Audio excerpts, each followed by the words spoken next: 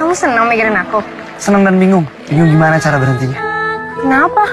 Maunya deket kamu terus. Kalau deket kan gak perlu mikirin.